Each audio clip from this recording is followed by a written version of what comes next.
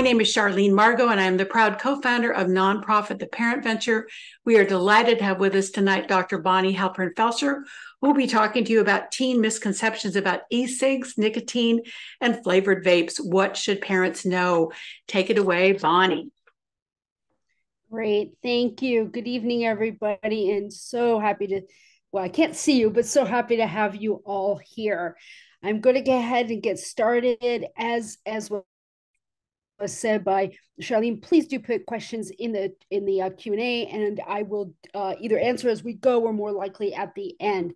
Also, as I go along, I like to do some pop quizzes for you uh, where you put some information into the chat yourself. So if you would play along, it makes it a lot more fun since we are on Zoom and we're not able to interact in the same way.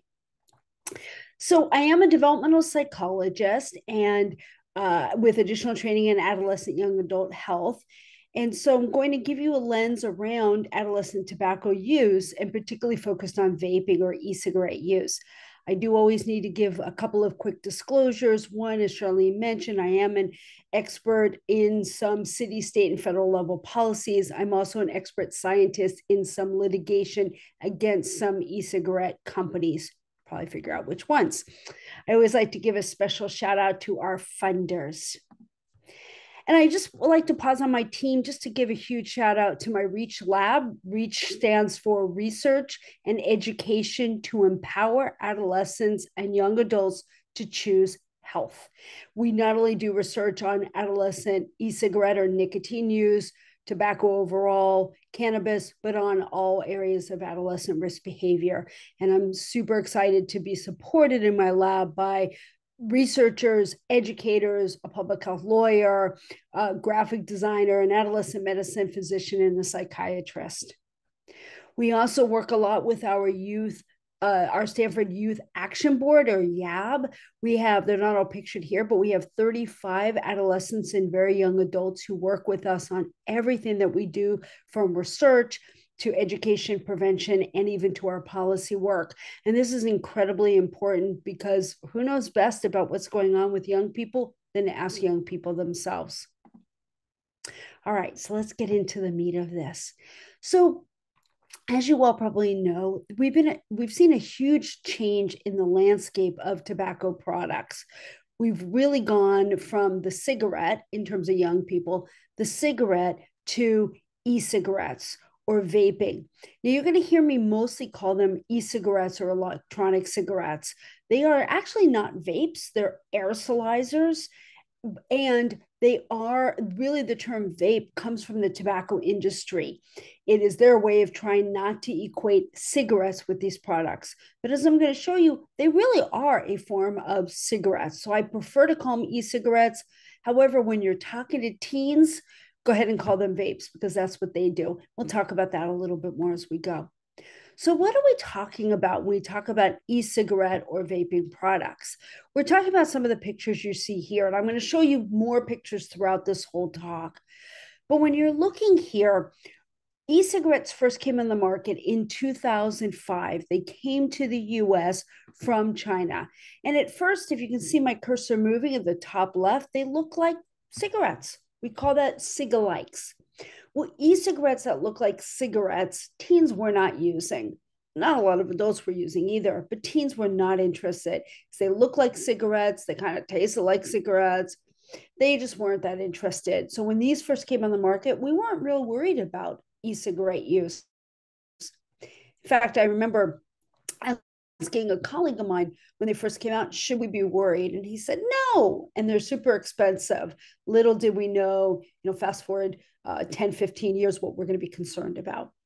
So the next products that came on the market after the Cigalikes were these right here at the far uh, upper far right, more the vape pens. We're still seeing those. You press a button uh, on it to release the the e-juice, the e-liquid or nicotine liquid into your mouth. And they came in flavors. The first versions came in flavors as well, but not as many. These new ones came in flavors and they were rechargeable, whereas the first generation, you throw them out when you're done. Then we had mods right here, the box style, or my friend calls them chunky. These chunky box style, they could be modified in any way that you want. You can modify the coils, the amount of nicotine you're getting, the heat, all kinds of things. And these were rechargeable as well. So I would hear from schools around 2012 mm-hmm. 2013 mm-hmm. saying oh what's going on in my classroom? I'm seeing something plugged in to the classroom seems to be charging or parents would ask me about it and they were earlier e-cigarettes. We saw teens uptick in these products but not as much. We really didn't and i'll show you this epidemiological data but we really didn't start getting really concerned about e-cigarettes till Juul came on the market in 2015. And after that, we have a huge plethora of new, uh, Charlotte and I were saying whack-a-mole, new products coming on the market all the time, not a lot of regulation. If we have time, we could talk about the FDA and, and state regulations around this. But from Juul, we had Suorin, we have Puff Bars, we've got many other products. And I want you to be aware of what these look like. And I'm going to show you more pictures because you, as parents, need to be on the lookout because they don't look like cigarettes. They don't look like nicotine products. They look like household products. If you look back at this one, this looks like a highlighter, the Suorin. These right here just look like a USB, just like Juul look like a USB. So you may not know what it is that your sons and daughters are using. So these also the earlier versions, and to be honest, it's coming back. Are we're seeing e-liquid or e-nicotine or nicotine liquid, whatever you want to call them. These are dropper size bottles, like what you see in eye drops, uh, small bottles, and that's what in there is the e-liquid or the nicotine liquid that has nicotine and all kinds of other chemicals that I'm going to tell you about. These are what's used to drip into the mo- mods, the box style, the earlier versions. But again, we're still seeing this on the market as well. So, something else to be aware of if you see a product like this. Now, newer products that we've been concerned about, if you're seeing these, one is Puff Bar. If you look here, the green, it really does look like Juul, but Juul has a pod a little separate separate piece that came off. So starting with Juul in 2015, instead of adding the e-liquid to it, they were self-contained. It was all together in the same device. It was the device and then this little pod, and I'll show you the pod in a few slides that you could take out and then add a new pod in. After Juul, a couple years later, about three years later, Puff Bar came on the market, and this looks very similar to a Juul. In fact, the owners of Puff Bar even say that they are a Juul knockoff, but rather than have a separate pod, it's all in one piece. These are called disposables because when you are done, you don't recharge it, you don't add a new pod, you just throw it out. If we have time at the end, we could talk about the environmental harms around that. But then we also have Vuse. Flume is a really popular brand. If you see something like this, we see this a lot in California. I actually saw Flume right outside one of the Warriors games recently, just being sold on the streets. Hyde, gotta love the name Hyde. Hmm, hiding from parents, right? Hyde is another product that we're very concerned about right now that we're seeing. The other product that's very com- uh, popular is Elf Bar. And this picture, by the way, was taken uh, by uh, us. I took it because schools collect uh, confiscated e-cigarette products and they give them to me. And this is what recently I was given with these products. And you can see the flume. You can see I don't even know what half of these products are named. They're they're knockoffs. They're um, counterfeits coming from China. It's been a huge problem with influx of unregulated illegal e, um, illegal e-cigarette products. But the one that we're also concerned about is this Elf bar here at the bottom. We're seeing Elf bar a lot right now, so that's one, and it you can't tell what it is um, unless you know. So be on the lookout, and that's what it looks like up close. So let's talk about rates. So one of the things I want you to know it's important to know is the blue line here. These are data from the National Youth Tobacco Survey from 2011 to 2022. We don't have 23 numbers out yet. So these National Youth Tobacco Survey collected by the Centers for Disease Control, These uh, track adolescents' use of all kinds of tobacco products uh, ever and in the past 30 days. What you're looking here is the percentage of adolescents surveyed nationally who used an e cigarette or a cigarette in the past 30 days. If you look at the blue line, you'll see the good news is that cigarette use has gone down dramatically. In fact, we're seeing well below 5% in California and across the country. That's the good news. But if you look at the red line, that is the sharp increase in the percentage of adolescents in the past 30 days who have reported to use an e cigarette. And if you look, some people say, oh, and this is an important misperception. A lot of people say, oh, it's a good thing we have e cigarettes because otherwise teens would be smoking cigarettes. That is not the case. It is not that teens are saying, hmm, do I, do I use a cigarette or an e cigarette? Teens are saying, yuck, to e to cigarettes, excuse me, to cigarettes. They don't want to use cigarettes. We've gotten that message across. And if you look at the blue line, even starting in the year 2000, cigarette use has gone down pretty dramatically. But e cigarette use has gone up. They're not using it as a replacement product. It's a whole new way of addicting young people. And we'll talk more about reasons in a little bit. So, the other thing I want you to look at is not only have the numbers overall gone up, but the percentage of adolescents who are using frequently, the CDC, Centers for Disease Control, consider that to be 20 out of the past 30 days. As somebody who studies nicotine and nicotine dependence, addiction, I would say 20 out of 30 days you're probably addicted. So we're seeing an increase in the percentage of adolescents who use e cigarettes who are using them frequently. Oh, almost half of adolescents who have ever tried are using them pretty regularly. And daily in 2022, we're seeing about 12% of adolescents are using their e cigarette daily. This is a huge percentage. We're talking about three and a half million, two and a half to three and a half million young people who are using an e cigarette ever of in the past 30 days, of whom about over a million, a million and a half adolescents right now are currently addicted to these products. And I would actually argue, and for those of you who are listening who are teachers or who work in schools or know about the school rates, I would actually argue that the rates are even higher. I'm getting calls constantly from schools in California and across the country about the vaping epidemic and how concerned people are. And because of the pandemic, which is when a lot of these data were collected, young people were home, they weren't interacting. It's a very social event to start vaping, that they weren't together, and that the rates probably in 2022 were lower than what we're really seeing right now. So I would argue that is still very much a public health um, a public health issue.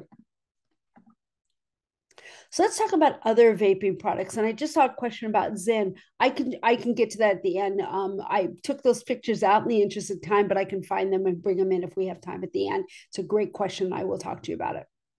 Let's talk about other vaping or e-cigarette products. One of the other pieces or things that young people are, are using or vaping is THC, cannabis, or CBD.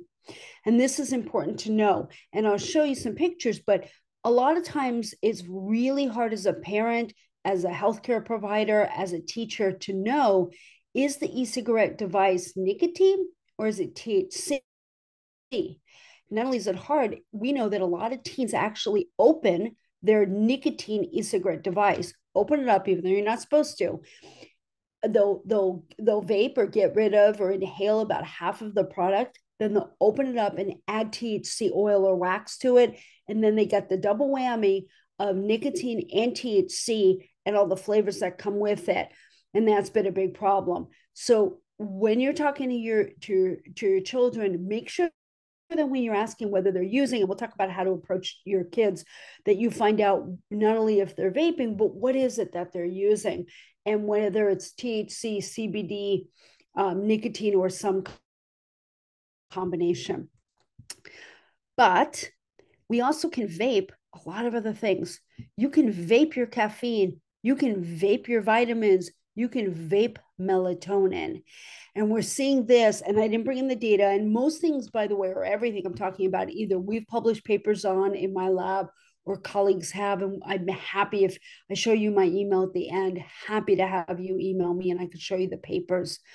But we're seeing an increase in the percentage of adolescents who are also using what we're calling non nicotine e cigarettes. So you can vape pretty much anything. And these are not regulated by any federal agency. E cigarettes, nicotine e cigarettes, are regulated by the Food and Drug Administration Center for Tobacco Products. Cannabis is regulated because it's Schedule One. It's actually illegal at the federal level. These products are not regulated by anybody, and we're still seeing a lot of young people use. And we have a paper that we published that showed that teens start with these products and then move to nicotine e-cigarettes. So again, if you're talking to your kids, what are you using? It's important to find out if they're vaping, what specifically is in that vape. All right, so let's talk a little bit more about what's in e-cigarettes. This is our schemata to show you as these swipe in. Now, I've been doing, um, embarrassingly, just to show my age, tobacco control work for about 25, 30 years. I used to show slides like this for cigarettes. Now, cigarettes may have thousands of scary ingredients, E-cigarettes may have hundreds, but they're still pretty scary. And just like cigarettes, e-cigarettes have, of course, nic- nicotine, but they have acetone, acrolein, uh, formaldehyde, acetone, lead, and so on. And a lot of these, the yellow ones, are on the FDA sort of most wanted list, the products that we're most concerned about. Now, what e-cigarettes have that cigarettes do not have is the propylene glycol and the glycerin, and that is used as an agent to bring the product in through your body into your lungs into your brain. Um, and those are kind of binding uh, agents and uh, sort of oily substances that bring it in. Cigarettes don't have that, but everything else pretty much is in a cigarette. So I like to show this as well, when, especially when we're talking to young people. Forget all the crazy chemicals. Let's say, how do they relate to what we use in our everyday lives? Well, lead is in batteries. This is what people are inhaling. Nickel is in cheap jewelry. Toluene is a paint thinner. Benzene is actually gasoline. Um, nitrosamine is a, uh, sorry, is a pesticide. That's another product. I had to move my picture of you guys. Cadmium is in batteries. Formaldehyde, of course, as you know, dead tissue preservatives. Diacetyl, that's the buttery flavor the, that's in, in microwavable popcorn, for example. That, and we'll talk about that more. That is another ingredient. And of course, nicotine. So e cigarettes and the aerosol that comes out from that big it's not really smoke it's aerosol in that big plume that contains nicotine ultrafine particles heavy metals volatile organic organic chemicals and compounds. And yes secondhand smoke or vapor or aerosol is an issue. If you are next to somebody and they are using their e-cigarette and that puff goes into you you are also getting a lot of these chemicals and ingredients into your lungs as well. So this is a picture that I took of an e-cigarette that was caught um, by a middle schooler using. And by the way, I didn't mention this in the slide where I showed rates. I should pause to tell you that you might be saying, oh, it's not my kid. Hopefully it's not. Or that's just the high school, or that's just the bad kids. Mm, I hate to tell you, but right now, e cigarettes are being used by all young people. I don't mean everyone, but doesn't matter, male or female. Um, actually, a little bit higher rates in trans youth and queer youth, but basically the same. Doesn't matter what race, ethnicity, doesn't matter if you have good grades or bad grades or in between grades. It doesn't matter where you live. It doesn't matter your income we are seeing this as an equal opportunity problem right now. And it's not just high school, it's not just middle school. I didn't show you the rates on middle school. They're, they're certainly lower than high school, but they're about but they're increasing and there's similar pattern. But I am Susie's seeing this in elementary school too. I've had parents in school talk to me about their third graders using e cigarettes, and they're getting it from their older siblings. They smell good, they taste good, um, and they think that they're candy. So, this is a problem that is starting very young. All right, let's talk about nicotine. I think it's really important to have a conversation about nicotine. So, we all know, or hopefully you know, that nicotine is in cigarettes. Also, a pack of cigarettes has 20 cigarettes. Presumably, you know that. Each cigarette has about eight milligrams of nicotine in it, but the actual yield, how much nicotine actually gets into your body, is about one to one and a half milligrams of nicotine per cigarette because they're actually not the most efficient. They're, they're the best way cigarettes to bring nicotine to your body, but they're still not super efficient. A lot of that nicotine and the other chemicals goes in the ashtray, goes on your fingers, goes in the air, on the floor, whatever. So if you were to, to smoke an entire pack of cigarettes, you would inhale about 22. Oh, that slide's not working. Sorry, it's supposed to show, but about 22, um, about 22 or 20 cigarettes, about 22 milligrams of nicotine. Juul, when Juul came on the market in 2015, they had the biggest amount of volume of nicotine than any product we'd ever seen. It's a 59 milligram per milliliter volume, but Juul is about 0.7 milliliters. So just multiply 59 times 0.7, you get about 41 milligrams. And Juul, they took it off their website, but they used to brag that if you use um, the Juul pod, you get about 50, eh, excuse me, about 80% of the product into your body. Yay, good news. Yeah, well. So if you were to use a Juul pod, you're getting about 40 milligrams of nicotine into your body. So you're getting about 37 ish cigarettes more than a pack of cigarettes. Now, Juul would say it's one pack of cigarettes. I've had debates with healthcare providers and public health folks um, it's somewhere between one and two packs. Nobody knows for sure, but a Juul pod is about that much. Now I showed you Flume. That's a new um, product that we're seeing. It has 400 milligrams of nicotine. If you were to use this, you're getting about 360 cigarettes worth of nicotine in your body. Elf Bar, the product I said we're seeing a lot is almost 600. Now, not all at once, not all in one day, but they are huge volumes of products. Now, you might be saying, well, but how much are young people using? We don't know about the, the newer products, Flume or Elf Bar. We're actually going to launch a study on that. But jewel pods, we would talk to young people and they would say that they were using a pack a week, or excuse me, a pod a week, which is about two or three cigarettes a day worth of nicotine or a pod to four pods a day. That's one to eight packs of cigarettes worth of nicotine and chemicals per day for those young people who are most addicted. That is an incredibly dangerous amount of nicotine that people are using. Not only that, but these newer products have something called salt based nicotine. If you've ever been a smoker, or maybe you still are, and not judging at all, um, you you may remember or or have had the experience of that throat hit. I've never smoked, I've never used it, but everybody tells me this throat hit, kind of caustic and strong in the back of the throat. The older e-cigarettes had that same kind of nicotine. It's a free-base nicotine. Free-base nicotine uses sugars and ammonia to bind and bring it through your body. What Juul patented in 2015, and now almost all the e cigarette companies are using, is a salt based nicotine. Salt based nicotine uses salts in the form of benzoic acid to now move the needle. Think about litmus tests. We did a little math, now we'll do a little chemistry. Think about the litmus test.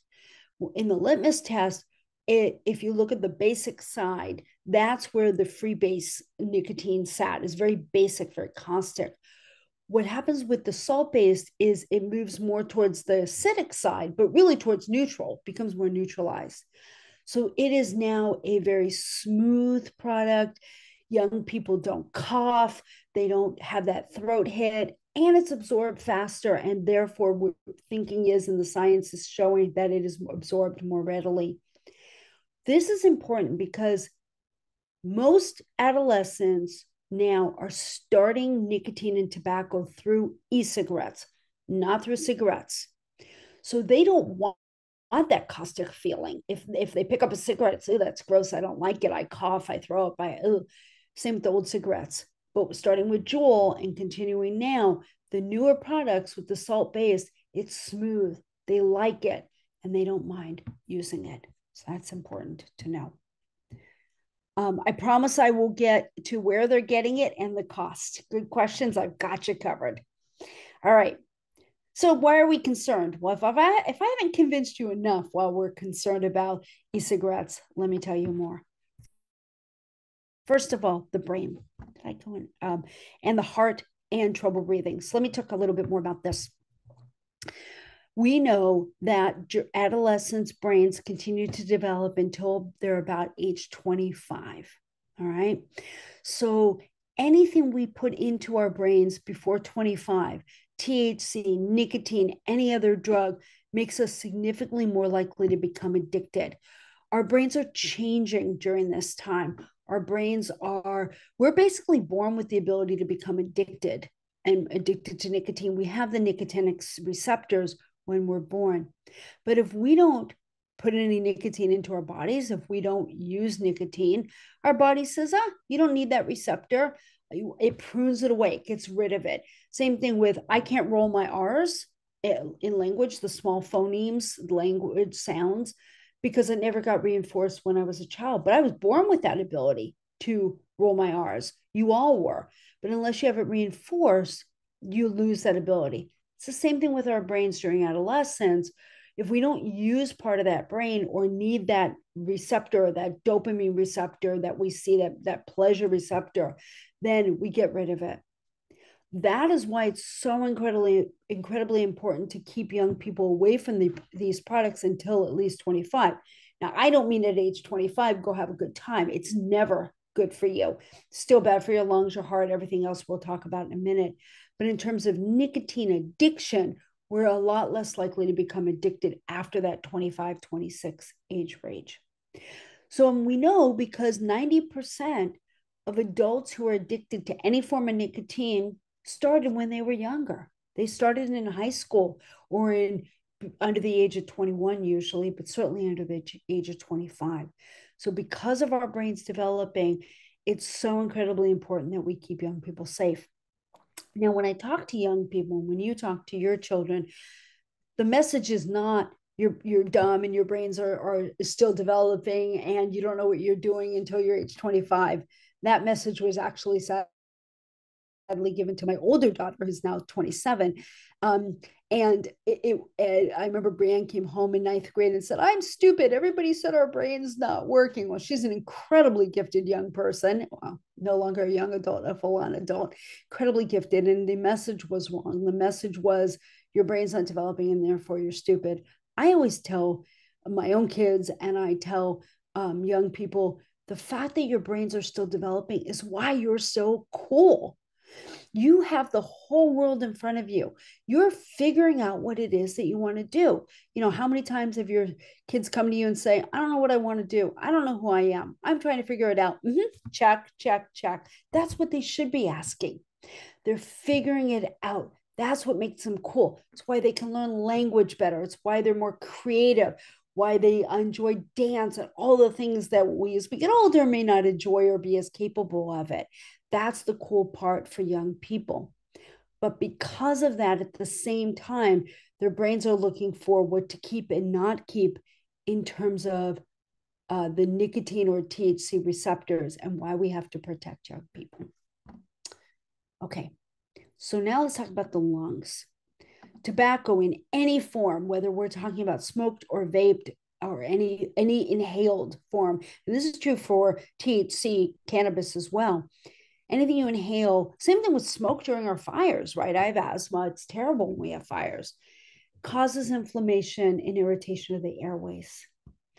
Also can destroy, particularly the tobacco smoke or aerosol, can destroy the air sacs that are in the lungs. Also, when we're using uh, any form of inhaled tobacco nicotine, we get a weaker immune response to infection. And this is why actually I've talked to some healthcare providers who say that they don't want to perform um, surgery or do any elective procedures on somebody who's vaping or smoking, even young people, because they're worried about their ability to heal. So, pulmonary effects, more lungs. So, e cigarettes also have flavors in them. And I'm going to talk about the flavors more detail in a minute. But those flavors are associated with lung illness in and of themselves. It does not have to be the nicotine, just the flavors, just the propylene glycol, just the glycerin. Those. And this is important because I've heard a lot of young people say, oh, I'm just vaping um, harmless water vapor, or I'm just using harmless uh, heated water. It's nothing to worry about. Mm, first of all, they're probably using THC or nicotine, um, but they may not be. And if they are using essential oils or vitamins or whatever, I'm worried about it, not because the vitamin, I'm not worried about that. I'm not worried about the melatonin. I'm worried about the inhaling something that is hot and how that goes into our body. So we know that any form of e-cigarettes can cause lung damage. The flavors, there's diacetyl, I mentioned that earlier. That's a buttery flavor that we tend to see in microwavable popcorn. The federal government has a term GRAS, generally recognized as safe you can eat um, you can eat butter and heat it up really high and eat it. might burn your tongue, but you can do that. You can heat cinnamon or vanilla or other flavors. But if you heat them and then inhale the aerosol, that causes lung lesions and is very harmful to our bodies. And smoking and vaping and COVID, this is something else.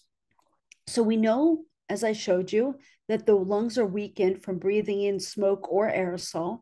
We know that the novel coronavirus attacks the lungs. So it stands to reason that if you are um, using with smoking or vaping, that you're more likely to get COVID or be um, or, or have a severe infection of COVID. We did a study in 2020, May of 2020, just a few months, couple months after the shutdown, and we asked adolescents and young adults whether or not they were vaping, um, whether or not they were smoking, and then whether they had ever had been diagnosed with COVID. And we saw a significant relationship, not causal, but a correlative relationship between smoking, vaping, and getting presence or absence of COVID.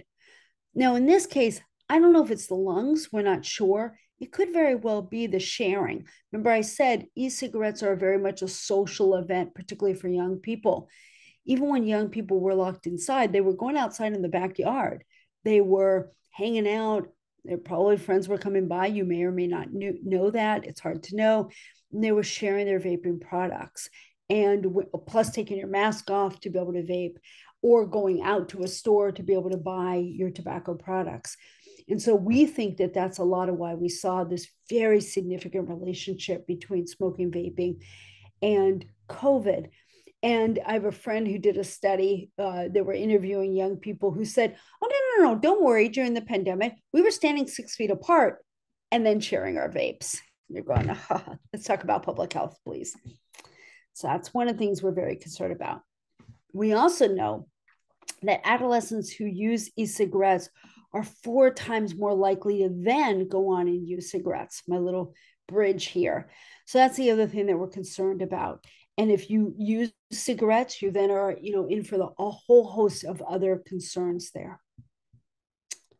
So why is it that young people are using these products? There are a lot of different reasons. And this is uh, for the audience, soon we're going to get to a pop quiz, so get ready to play along.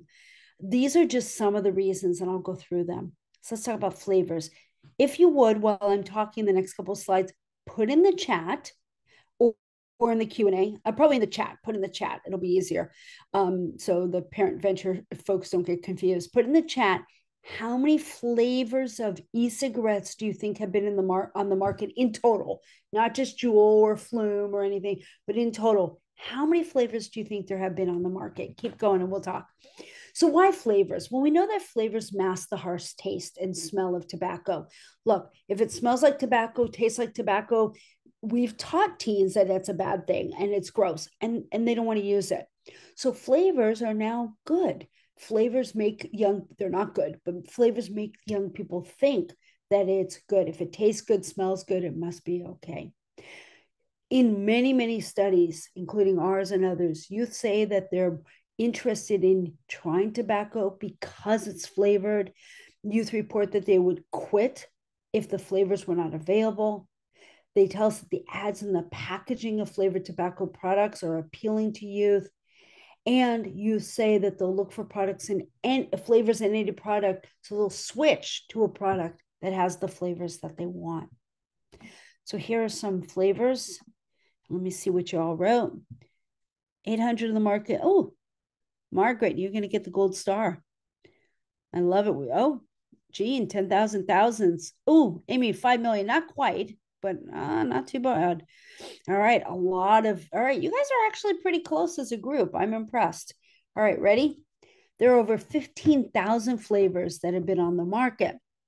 Now, when you look at this, um, and when when I've I've been studying e-cigarettes since they first came on the market in, in well not quite 2005 maybe around 2007 and there was a question of well why are these in flavors and the e-cigarette industry would say we need flavors to help adults quit smoking. If we have time we can talk about whether they well i'll tell you now. There's not good data that e-cigarettes help adults quit cigarette smoking but even if they did we don't need flavors like honey doo doo dragon's blood sugar booger unicorn poop. Those flavors are not for adults. I don't know about you i don't want those flavors. They're not for adults they are attracting our young people. And this has been one of the concerns. Now, um, actually, let me go back there. Um, I'm not sure if you've heard of uh, Senate Bill 793, or you may remember a year ago when we voted Prop 31. I think it was a year ago, Prop 31. Um, I was going around campaigning for Prop 31, I admit, and uh, wanted a yes vote. I testified on behalf of Senate Bill 793, what are these? These were the policies to get flavored tobacco products, not just e cigarettes, all flavored tobacco products, with a few exceptions, um, not allowed in California. And it passed. So, right now in California, with the exception of hookah, um, big cigars, and, a, and loose, leaf loose, loose leaf tobacco, you are not allowed to have or sell flavored tobacco. Now, that's great. Really excited. But if you think about the slide, I didn't I won't bore you with going backwards, but the slide on, that I showed you of the products that were confiscated from schools, that was just a couple months ago. So even though we have this ban, enforcement has been a huge issue. Young people and adults are still getting flavored tobacco products in stores, online, um, from behind the counters illegally, and so on. So I would say for you, if you're seeing young people with flavored vapes, report it because this is an enforcement issue. And in, in fact, there was a store in Alameda County that or a store company that was still selling even after many many warning labels from the Attorney General's office selling flavored vapes that um, they got sued and I I I'm happy to report was involved in that and was able to write a declaration to explain why we need to get these off the market. And uh, and and the attorney's general office won and that that story i don't know if the store got closed down but basically they were fined and not allowed to be selling the flavored vapes. So really a serious issue that we need to be aware of. All right uh, um you can report it to the to the san mateo department of public health or to a police station if you're seeing it school resource or wherever you live school resource officers can help you report it as well. The federal level the fda actually has a place i have to find it again if you email me but has a way to report bad businesses and bad companies as well. There are ways to do it and i would. All right. Easy to hide another pop quiz. Take a peek quickly and count and put in how many e-cigarettes do you see each there in this picture while i take a sip of water Anybody want to take a guess? One brave soul. Eight, eight. Ooh, 22, 10. All right. Getting some good numbers. You ready for the answer? It's one, two, three, four, five, six, seven, eight, nine, 10. I always forget. Um, here's one here, an e-cigarette. Here's the Flume and the um, Elf Bar, not that hard to see. Put this here as Elf Bar to show that it looks, you know, it could be confused with Mango Peach Gel. Um, this is your uh, USB style. This right here is another one. Here's one. And then you've got a vape pen that looks like a pen, another USB style. All right. This is no accident. These are made this way so that way young people can hide them from you. Now look at this. This is the newest e-cigarette that we've been seeing. It's called High Light. Do you like that play on words? It is a high lighter. It actually works, but it's also a vape. We are seeing this all the time right now. So oh, um, it, it's hard, parents. It is hard. I'm not necessarily saying that you, well, you may want to go into your kid's backpack. I'm not necessarily saying that you take every highlighter and test to see if it works, but you got to be vigilant. You got to pay attention as much as you can to what your young people are bringing home, what they're using, what's in their room, what's in their backpacks. These are all over the place, so incredibly ubiquitous. They're in Hello Kitty, they're in Star Wars designs, they're, they're watches, um, they, they look like everything possible and young people are hiding them and it, what they're doing is they're using it in school and then blowing the, the aerosol or smoke into their into their uh, jackets into their hoodies. Um, and so and again they smell good. I often tell parents if your kid's room smells like blueberries strawberries mango it may not be, be a fruit salad. It might be that they're using these products so being vigilant. And by the way, I'm not blaming you, parents, by the way. I am not. I know this is hard. I blame the industry. I blame the tobacco companies. It's why I've been dedicating the last few years to working with lawyers, policymakers, and others to really get um, at the federal, city, state level to get these products up off the market. I am not blaming you. I am not even blaming young people. But I am just saying that we have to be as vigilant as we can be, which is not easy. These are the Juul pods. Um, and just to show you that they look like right here, the yellow is the benzoic acid. These are so small. They're the size of a quarter and a small paper clip. I've had parents say that they didn't even know their kid was using until these covers to it, the pod covers came out in the laundry. Right, marketing. Just a few more minutes, then I'll get to the questions see some of the marketing you know do, do i need to say more? They do they, this is not marketing to adults. This is marketing to kids. And i could do an entire hour just on marketing. Access the question that was there. All right pop quiz. What's the legal age to purchase tobacco in california and um, across the us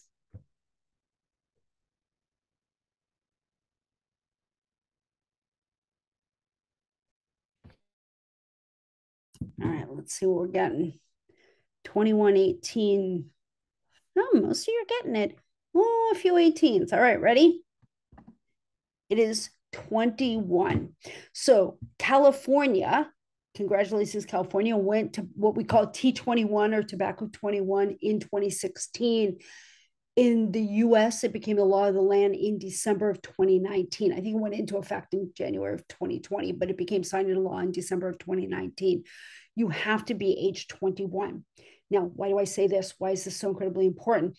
We still have young, first of all, you all didn't know that. Again, not blaming you. We've not done a good job getting the word out. I really want to work on that. Uh, healthcare providers don't know it, parents don't know it, stores don't know it. They're supposed to, but they don't. Um, we have teachers don't know it, young people don't know it. We have so many young people who are still accessing these products under 21. When you see something like this that says student discounts, you know, if you think about college ends when you're about 22, right? The majority of students, unless you're crazy like me and stayed in school forever, the majority of students are under the age of 21. So when you advertise student discounts, real picture in the Bay Area, you are advertising to our young people. This, this has to stop. We need to report more and more. So it's not that hard. You say, how are they accessing it? Unfortunately, I live in San Mateo. I've had parents tell me that the local vape shops are selling to 17 year olds and 18 year olds. Um, This has been a big problem. They're also cheap, really cheap. A pack of cigarettes is about $10, including the taxes in California. Puff Bar, which remember has as much nicotine as at least one pack of cigarettes, if not two, is a dollar to 250. Juul, the device itself was expensive, but the pod itself, once you have the device, you just buy pods, $5 a pod, one to two packs of cigarettes right there, half the cost. The other products are also just as cheap, and there are coupons and other things that are enticing young people. It's a huge problem. Misperceptions, young people, and honestly, adults, hopefully, you've learned something. I've corrected some of your misperceptions. Think that e cigarettes are less risky and less addictive than other tobacco products. Now, yes, e cigarettes are probably a little bit less um, risky than cigarettes, but not that much. And when it comes to heart issues, there's not it's not clear that e-cigarettes cause cancer although my husband's an oncologist and he said eh, i'm not so sure about that given the amount of nicotine and aldehydes that are in there. But but we haven't seen cases yet. We're not really sure. But remember it took 50 years to figure out cancer in cigarettes. But e-cigarettes clear evidence around lung and heart disease clear evidence about nicotine if nothing else even more nicotine and more harmful nicotine and as my friend from the CDC used to say, you can jump from a 10 story building or a 15 story building, the effects are still the same. These are not harmless, they are harmful. And then ending with stress here, and then I'll do a little summary of resources stress. Young people are incredibly stressed right now. I know that we're so caught out of the pandemic. The later, latest data from the, the national data show that about 40 to 50% of young people are reporting stress depression, and about a third are reporting suicidality. Incredibly stressful times right now. We're stressed as adults, but particularly young people. So, in summary, what are we talking about? We have stealth, youth focused products that are continuously evolving. As we were saying earlier, whack a mole. As soon as I wrote a paper saying that young people are using Juul and pod based products, the FDA, Food and Drug Administration, regulated then those kinds of products. They, they said only those that are not targeting young people that are tobacco or menthol flavored can stay on the market. What happened? The market opened up to disposables. Those were not touched by the FDA. And suddenly we have a whole new market of products, vaping products that are out there for young people to use. It is nonstop and all the time out there. And there was the question about Zyn. Zyn, uh, toothpaste picks, suckers, gums are out there, Lucy Gum, not to help young people stop using cigarettes. No, they're entry points to nicotine. And we're seeing young people using these products all the time. We have a paper we publish. These products have very high nicotine levels, as I told you, anywhere from one to two or three packs of cigarettes in one device. They have salt based nicotine that has less throat hit, easier to use, easier to become addicted. Lots and lots of misperceptions around nicotine and the harms of these e cigarettes. Probably you had misperceptions and many others. Flavors, they come in flavors. Even in California, with these flavor bans, we're still seeing flavors.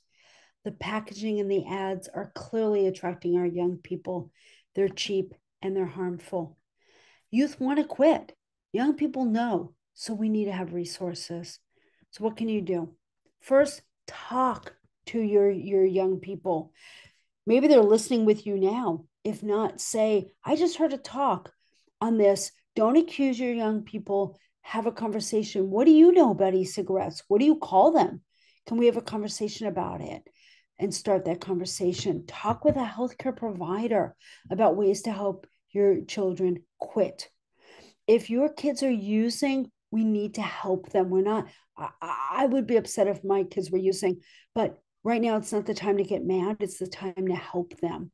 And if you're using e cigarettes or cigarettes, keep them away from the younger kids in particular, especially elementary school kids and pets, because they are harmful. And we're seeing poison, eh, kids poison from these high doses of nicotine.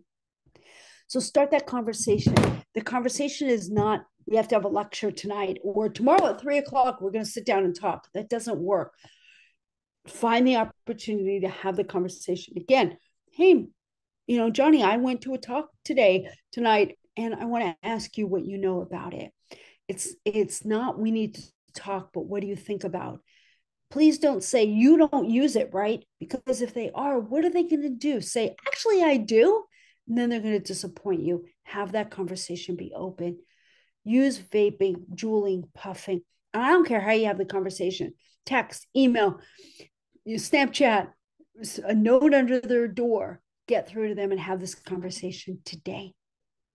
And by the way, if your son or daughter or child children are coughing and and a lot of headaches, could be COVID, could be the flu, it could be a cold, it could also be issues related to vaping and lung issues. Get them into a doctor right away. So let's quickly talk about some resources. There are resources to help young people quit. Um, the, the, ones that are here, some of them, uh, the Truth Initiative has a good one. This is quitting. There are others from the American Lung Association and the Surgeon General. There are hotlines in addition to your healthcare provider. There are hotlines and resources available. I will tell you, uh, hopefully, the QR code works. These are our curriculums and, and resources. I do not charge for these, but there are curriculums available. And just really quickly, um, we have, oops, I'm going to skip that. We have our tobacco prevention toolkit and our cannabis prevention toolkit. These are mostly for schools, but you as parents can also go online and use these curriculums to have a conversation with your children. We have safety first. This is not just tobacco or cannabis. This is all drugs, including fentanyl. It's a harm reduction approach of best if you don't use, but if you are, let's let's help you be the safest possible. And then we've got healthy futures. If your children are using, you can assign this to them.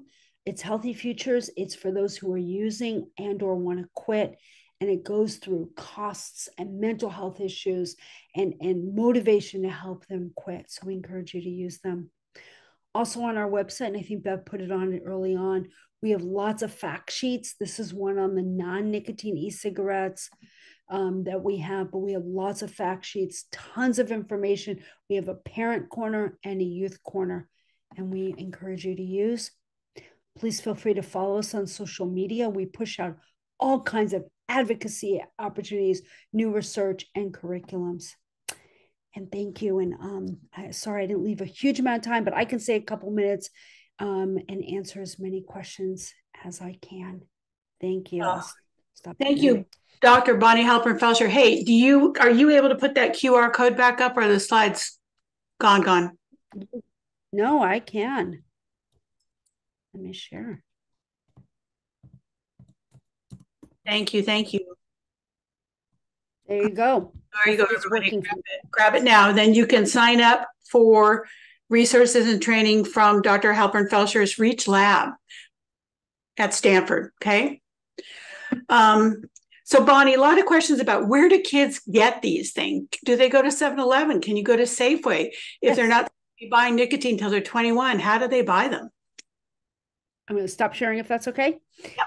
Um, absolutely. So uh, we're not seeing them as much as uh, not at pharmacies. Thankfully, CVS, Rite Aid, CVS was the first to take e-cigarettes off the market.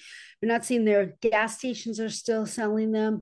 Vape shops, your local vape, CBD, THC uh, shops are selling. And again, it's um, supposed to be illegal for under 21, but we're still seeing it happening. And that's a big problem.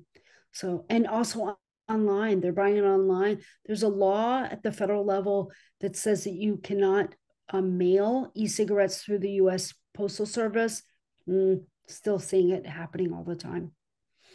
So again, Bonnie, you do this work, you've been doing it for decades, but as you say, products keep coming in, even though laws have been passed. What should parents do to sort of support the whole, what can we do to stop this issue? What do you suggest we do? It's a great question. So there are a few things. First of all, there's Parents Against Vaping E-Cigarettes. You can join them. They're a really good vaping advocacy group. Um, My lab does a lot of this work as well. If you're interested, email me. Um, we'll put you on a list serve. follow us on social media. There are lots of opportunities like Senate Bill 793 or um, the flavor ban, or we now actually are trying to support a cannabis flavor ban. There's lots of enforcement that can happen. Um, there are lots of opportunities at the state and federal level. And so we are super, um, uh, you know, uh, active. And if you join us and follow us, we'll have lots and lots of opportunities. You can write letters to the FDA and basically say, come on, what are you doing to protect our kids? Which is what we often do. So I'm happy to have those conversations with you all. Okay, thank you for that.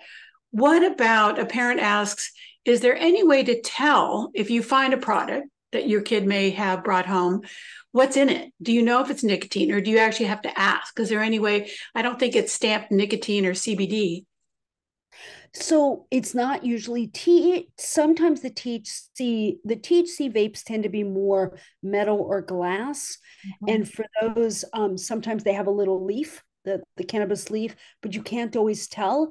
Um, sometimes you can tell by smelling it um, but you you can't always tell, especially if a young person is opening it and putting in their own products. So ask some. Sometimes a police officer can tell when they can test it, um, but the biggest is to ask to look at it, to ask to see the package that it comes in. Unfortunately, when we do our research and we ask young people what flavors, what nicotine, what's in it, they don't even know because they're sharing their products. Wow. Well, listen, we have come to the end of our hour here, but Dr. Halpern Felsher, this has been amazing. I think, are there any other questions there, Bonnie, that you want to answer quickly? Just really quickly, the secondhand I mentioned quickly, but there are secondhand effects. All the things that are in that aerosol come out and get into you. Um, there was a question about Puff. Puff, I think, is not selling nicotine anymore. I think they're only selling synthetic and THC. Um, there are THC disposables. And Millie, um, I'm not sure what specifically you meant for the data sources. If you email me, I can send you that information. So I think I got through it all. I think you did. All right. Well, listen, this is obviously a topic that is important to us. We're going to keep covering it. But Dr. Halpern Felsher, as she said, these resources online through Reach Lab are free. Parents do check them out. We are so grateful to you and the work that you do. Dr. Halpern Felsher, thank you, thank you for tonight. And we really appreciate you. Again, Bonnie is here as part of her community service. I just want you all to know that. So thank you, everybody. Take care. We hope to see you again soon. Good night.